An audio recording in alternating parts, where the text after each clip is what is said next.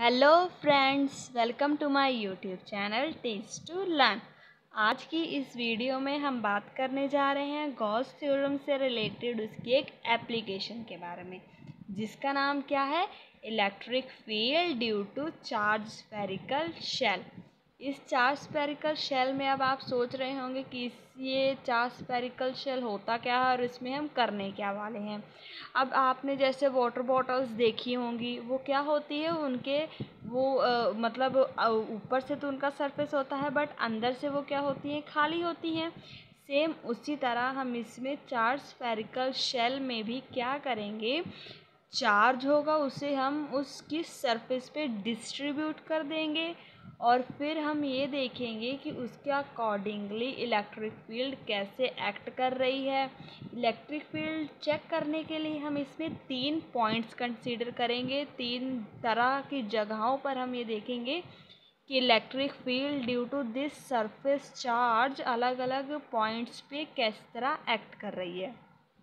सबसे पहला पॉइंट हम लेंगे outside this surface second point लेंगे इस सरफेस के ऊपर और थर्ड पॉइंट लेंगे इस सरफेस के अंदर। तो हम इन तीनों सरफेस पे रख के लास्ट में एक रिज़ल्ट निकालेंगे और उसके अकॉर्डिंग हम एक ग्राफ भी बनाएँगे जिससे हमें ये पता चलेगा कि आखिर ये इलेक्ट्रिक फ़ील्ड किस तरह तीनों पॉइंट्स पे अलग अलग तरह एक्ट कर रही है। तो इस टॉपिक को अच्छे समझने के लिए वीडियो को लास्ट तक देखिए आइए हम शुरू करते हैं अपना आज का टॉपिक देखिए, हमने सबसे पहले क्या लिया है? Consider a charge spherical shell हमने एक स्फेरिकल शेल ले लिया है, जिसके ऊपर चार्ज कितना है क्यों? जो मैं आपको पहले ही बता चुकी हूँ, ये चार्ज स्फेरिकल शेल है। इसके ऊपर प्लस क्यू चार्ज यूनिफॉर्मली इसके ऊपर डिस्ट्रीब्यूट है ओनली सरफेस के ऊपर। ये बात का हमने ध्यान रखना है। और इसका रेडियस कितना है? कैपिटल आर सो इसकी सरफेस चार्ज डेंसिटी क्या होगी? Sigma is equal to Q by four pi R square अब हम यहाँ पे क्या लिया है? यहाँ पे ये क्या है? एक स्पीयर है। तो जो सरफेस चार्ज डेंसिटी होता है, उसका फॉर्मूला क्या होता है? चार्ज पर यूनिट एरिया तो हमने स्पीयर का एरिया ले लिया है surface area four pi R square ये क्या होगी? हमारे पास इक्वेशन नंबर वन वो मैंने बताया ही है कि हमने, हम क्या करेंगे पी पॉइंट कंसीडर करेंगे आर डिस्टेंस के ऊपर अलग अलग पॉइंट्स पे फ्रॉम चार्ज स्फेरिकल शेल जहाँ पे हम क्या करना चाहते हैं इलेक्ट्रिक फ़ील्ड इंटेंसिटी कैलकुलेट करना चाहते हैं।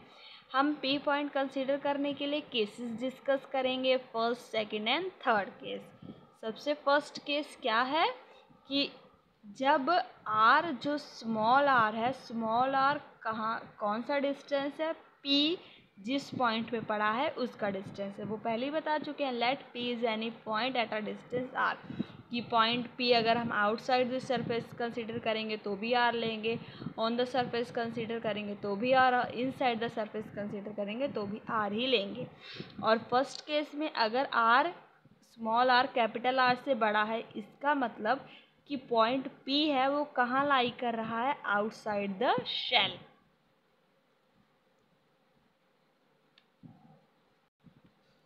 अब यहाँ पे आपको दिख रहा है, ये था हमारा वो सर्कल जिसके ऊपर क्यों चार्ज यूनिफॉर्मली डिस्ट्रीब्यूट था और इसका रेडियस कितना था और हम, और हमने स्मॉल आर डिस्टेंस पे पी पॉइंट कंसीडर कर लिया है।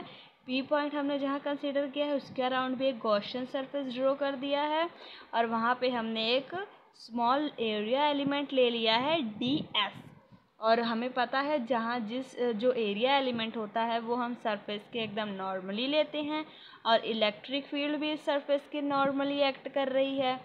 So now according to Gauss theorem यहाँ पे जब हम पी पॉइंट पे गॉस थ्योरम लगाएँगे तो गॉस थ्योरम क्या कहती है? Surface integral of E dot D S किसके इक्वल है? One by epsilon nought times charge enclosed in the closed surface कि इस क्लोज सरफेस के अंदर कितना चार्ज है? ये इसके इक्वल होता है। और ई डॉट डी एस जब हम डॉट प्रोडक्ट हटाएँगे तो cos theta cos theta means E और डी एस के बीच में एंगल कितना है? वो तो आपको पता ही है कि डी एस भी नॉर्मल है इस सरफेस की और इलेक्ट्रिक फ़ील्ड भी नॉर्मली आउटवर्ड हो रही है। सो इन दोनों के बीच का एंगल कितना हो गया? ज़ीरो तो cos zero degree cos zero क्या होता है? वन और इलेक्ट्रिक फ़ील्ड क्या है? इलेक्ट्रिक फ़ील्ड को हम इस इंटीग्रेशन से बाहर निकाल लेते हैं। क्यों? क्योंकि electric field due to this circle circle Gaussian sphere Gaussian surface होने के कारण रेडियस सेम है रेडियस सेम है। तो एट एवरी पॉइंट जो इलेक्ट्रिक फ़ील्ड एक्ट कर रही है, वो भी सेम होगा। इसीलिए इलेक्ट्रिक फ़ील्ड क्या हो गई? कांस्टेंट हो गई। कांस्टेंट होने के कारण हमने उसे क्या किया? इंटीग्रेशन से बाहर निकाल लिया। इंटीग्रेशन से बाहर निकालने के बाद अंदर क्या रह जाएगा? इंटीग्रेशन के इंटीग्रेशन ऑफ़ डी एस किसके इक्वल आ गया? Q by epsilon nought D S means total surface area of this sphere की, ये जो पी का गौशन सरफेस है, उसका total surface area of this sphere according to this P point क्या होगा? Four pi small R square क्योंकि small are distance है उस पी पॉइंट तक का इसी कारण। यहाँ पे डी एस की जब हमने इंटीग्रेशन करी तो वो क्या आ गया? फोर पाई आर स्क्र किसके equal Q by epsilon nought तो इलेक्ट्रिक फ़ील्ड किसकी इक्वल आ जाएगी? One by four pi epsilon nought into Q by R square Q by four pi epsilon nought ये सब तो क्या है? कांस्टेंट है तो इलेक्ट्रिक फ़ील्ड किसके डायरेक्टली प्रोपोर्शनल हो गई? वन बाय आर स्क्र के. अब यहाँ पे हम ऐसा भी बोल सकते हैं कि electric field one by R square के डायरेक्टली प्रोपोर्शनल है, या तो आप ये कह दें कि इलेक्ट्रिक फ़ील्ड इन्वर्सली प्रोपोर्शनल है आर स्क्र के। क्योंकि अगर आर स्क्र को अकेले देखें तो उसके तो ये इन्वर्सली प्रोपोर्शनल है। पर अगर वन बाय आर स्केयर के देखें तो उसकी क्या है? डायरेक्टली प्रोपोर्शनल और हम इसको सरफेस चार डेंसिटी की फॉर्म में भी निकाल सकते हैं। इक्वेशन वन में हमने सरफेस चार डेंसिटी क्या लिया था? Q by sigma is equal to Q by four pi R square तो क्यू की वैल्यू क्या आ जाएगी? Sigma into four pi R square तो यहाँ पे इस इक्वेशन में क्यू की वैल्यू जब हमने फिल की तो four pi R square into sigma four pi से फोर पाई कैंसिल हो गया। इलेक्ट्रिक फ़ील्ड की वैल्यू क्या आ गई? In surface charge density R square sigma by epsilon nought small R square ये तो होगी इलेक्ट्रिक फ़ील्ड इंटेंसिटी की value in surface charge density अब हम इलेक्ट्रिक फ़ील्ड इंटेंसिटी की वैल्यू देखते हैं। मीडियम में क्या होती है? हमें पता है एब्सोल्यूट परमिटिविटी के किसके इक्वल होता है? एप्साइलर बाय एप्साइलर नॉट तो हम जो अब साइलन था, हम उसे ले रहे थे, या हम अपसाइलर नॉट मतलब मीडियम के लिए हम क्या साथ में ऐड कर सकते हैं? के एब्सोल्यूट परमिटिविटी की वैल्यू को भी साथ में ऐड कर सकते हैं। इससे पहले हम क्या लिख रहे थे? Is equal to one by four pi epsilon nought into Q by R square पर अगर हम मीडियम के लिख रहे हैं तो हम साथ में एब्सोल्यूट परमिटिविटी भी ऐड कर सकते हैं अब साइलन नॉट इंटू के उसके साथ क्या हो जाएगा? मल्टीप्लाई हो जाएगा। तो इलेक्ट्रिक फ़ील्ड की वैल्यू इन मीडियम के लिए हमारे पास जो डेरिवेशन आएगी, जो इक्वेशन आएगी, वो क्या हो जाएगी? ये वाली। अब बात करते हैं हम अपने सेकंड केस की। फ़र्स्ट केस में तो हमने जो पॉइंट आर कंसीडर किया था P point at small R distance वो कहाँ किया था? Outside the surface second case हम क्या लेते हैं? कि जो स्मॉल आर है, वो कैपिटल आर के इक्वल है। इसका मतलब क्या हुआ? कि जो पॉइंट पी है, वो कहाँ लाई कर रहा है? On the surface of shell जैसे कि आप देख ही रहे हैं कि ये था shell R distance is capital R इसका रेडियस था और स्मॉल आर वो डिस्टेंस था जहाँ पे हम पी पॉइंट कंसीडर कर रहे थे। और इस केस में हम पी पॉइंट को इसी शेल के सरफेस के ऊपर कंसीडर कर रहे हैं। और इसी पी पॉइंट पे हम क्या ले रहे हैं? एक small area element D S जो इस सरफेस के नॉर्मल है और इलेक्ट्रिक फ़ील्ड भी नॉर्मल है तो इसके अकॉर्डिंग हम यहाँ भी देख सकते हैं कि गॉस थ्योरम के अकॉर्डिंग हमारे पास जो इक्वेशन है वो क्या आ गई? Surface integral of E dot D S किसकी इक्वल है? One by epsilon nought times charge enclosed in the closed surface यहाँ पे भी पी पॉइंट है तो इसके सरफेस पे इसका मतलब क्यू चार्ज एक्ट कर ही रहा है। और ई डी एस जब हम डॉट प्रोडक्ट हटाएँगे तो क्या आएगा कोस थीटा यहाँ भी ई e और डी एस के बीच में एंगल क्या है? ज़ीरो तो ज़ीरो डिग्री कोस ज़ीरो क्या होता है? वन और इलेक्ट्रिक फ़ील्ड क्या है? According to this sphere this spherical surface at every point due to same radius same act कर रही है. इट मीन्स इलेक्ट्रिक फ़ील्ड क्या है? कांस्टेंट इसीलिए यहाँ भी इलेक्ट्रिक फ़ील्ड क्या आ गई? इंटीग्रेशन से बाहर और अंदर क्या रहेगा? अकेला डी एस किसके इक्वल है? Q by epsilon nought D S की इंटीग्रेशन है, जब हमने करी अकॉर्डिंग टू दिस एरिया इसका सरफेस एरिया क्या होगा? स्पीयर का four pi capital R square क्योंकि यहाँ पे ये क्या है? हमने सरफेस के ऊपर ही ले लिया था, इसीलिए एरिया क्या आ जाएगा? Four pi capital R square किसके इक्वल आ गया? Q by epsilon not तो इलेक्ट्रिक फ़ील्ड की वैल्यू क्या निकल के आ रही है हमारे सामने? One by four pi epsilon nought into Q by capital R square on the surface जो वैल्यू हमारे पास निकल के आई है, वो सारी की सारी क्या है? कांस्टेंट है और उसकी एट एवरी पॉइंट हर एक जगह पे वैल्यू क्या है? मैक्सिमम है। जब हम इलेक्ट्रिक फ़ील्ड या पॉइंट पी को सरफेस के ऊपर कंसीडर करते हैं। सरफेस के ऊपर कंसीडर करने पे इलेक्ट्रिक फ़ील्ड की वैल्यू मैक्सिमम इसलिए आई है क्योंकि हमें पता है जैसे जैसे हम डिस्टेंस ज़्यादा दूर होता जाएगा वैसे वैसे इलेक्ट्रिक फ़ील्ड की वैल्यू क्या होती जाएगी? कम होती जाएगी क्योंकि इलेक्ट्रिक फ़ील्ड हमेशा क्या होता है इन्वर्सली प्रोपोर्शनल होता है डिस्टेंस के। डिस्टेंस के इन्वर्सली प्रोपोर्शनल होता है, इसका मतलब जितना ज़्यादा दूर डिस्टेंस होता जाएगा, उतनी इलेक्ट्रिक फ़ील्ड क्या होती जाएगी? कम होती जाएगी। पर यहाँ पे जो इलेक्ट्रिक फ़ील्ड हमने कहाँ देखी ऑन द सरफेस देखी। सरफेस के ऊपर तो इलेक्ट्रिक फ़ील्ड की वैल्यू मैक्सिमम होनी ही है। इसीलिए इस at this point on the surface जो इलेक्ट्रिक फ़ील्ड की वैल्यू हमारे पास निकल के आई, वो क्या आई? कांस्टेंट एंड मैक्सिमम यहाँ भी in the form of surface charge density हम इसकी वैल्यू निकाल सकते हैं, क्योंकि जगह हमने क्या फिल कर दिया? Four pi capital R square sigma. अब यहाँ पे फोर पाई फोर पाई भी कैंसिल हो गया और आर स्क्र भी कैंसिल हो जाएगा। तो वैल्यू क्या रह जाएगी? ई e की सिग्मा बाय अपसाइलर नॉट। ये तो हो गई सरफेस चार्ज डेंसिटी की फॉर्म में।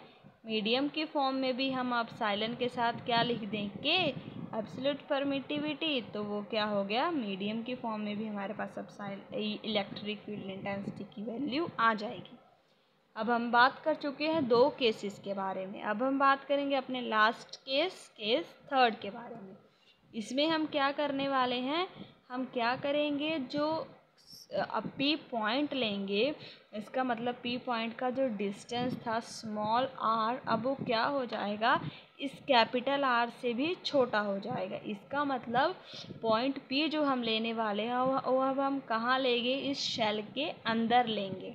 ये था हमारा शेल जिसका रेडियस था कैपिटल आर अब हमने पॉइंट पी कहाँ लिया? इस शेल के अंदर लिया और उसका रेडियस कितना है? स्मॉल आर तो अकॉर्डिंग टू गॉस थ्योरम यहाँ पे भी एक्ट होगी। E D S is equal to one by epsilon और times charge enclose in the close surface अब इसमें हमने जब लिखा कि इलेक्ट्रिक फ़ील्ड का जो सरफेस इंटाइग्रल है, वो इसके इक्वल है तो हमें ये भी पता होना चाहिए कि हम ये जो चार्ज लेते थे, पहले दो केसेस में जब हमने आउटसाइड द सरफेस लिया या उस सरफेस के ऊपर लिया तो चार्ज एक्चुअली एक्ट कर रहा था। पर जब हमने पॉइंट पे इनसाइड द शेल ले लिया तो इनसाइड द शेल तो कोई चार्ज है ही नहीं। जैसे मैंने आपको शुरुआत में ही वाटर बॉटल की एग्जांपल दी थी तो वाटर बॉटल के ऊपर अगर हम बात करें वाटर बॉटल के ऊपर अगर उसके सरफेस पे अगर कोई भी चार्ज एक्ट कर रहा है तो उसके जो इन साइड है, उसका अंदर वाला सरफेस है, उसके ऊपर तो चार्ज नहीं होगा, क्योंकि वो तो उसके सिर्फ़ सरफेस के है, ऊपर है, उसका अंदर, उसके अंदर वाला पार्ट तो हॉलो है। सेम इसी तरह इस शेल के स्फेरिकल शेल के अंदर भी सिर्फ़ सरफेस के ऊपर चार्ज की हमने बात करी थी। उसके अंदर वाला जो सरफेस है, वो तो पूरा खाली है। इसी कारण जब हम पी पॉइंट इस सरफेस के अंदर ले रहे हैं तो इसके अंदर तो चार्ज प्रेजेंट ही नहीं होगा। इसी कारण ये जो सरफेस इंटाइग्रल था ई डॉट डी एस का वो किसकी इक्वल आ गया? One by epsilon not times हम यहाँ पे क्या लेते थे? Charge enclose in the close surface पर इस क्लोज सरफेस के अंदर तो कोई चार्ज है ही नहीं, इसलिए चार्ज की वैल्यू क्या आ गई? ज़ीरो तो तो जो वैल्यू आई ई इलेक्ट्रिक फ़ील्ड की वो किसके इक्वल आ गई? ज़ीरो के इक्वल क्योंकि सरफेस इंटाइग्रल अगर हम हटा भी ले तो लास्ट में इलेक्ट्रिक फ़ील्ड की वैल्यू हमने निकालनी है डी तो कांस्टेंट है ही नहीं तो इलेक्ट्रिक फ़ील्ड की वैल्यू क्या आ गई? ज़ीरो आ गई। इससे हमें ये पता चलता है कि जो इलेक्ट्रिक फ़ील्ड है हॉलो स्फेरिकल शेल के अंदर क्या होता है? ज़ीरो होता है, क्योंकि उसके अंदर कोई चार्ज प्रेजेंट नहीं होता है। अब हम बात करेंगे इन तीनों केसेस से निकले हुए रिजल्ट्स की और एक ग्राफ ड्रॉ करेंगे और आपको ये भी बताऊँगी कि इस ग्राफ को हम ड्रॉ कैसे कर सकते हैं।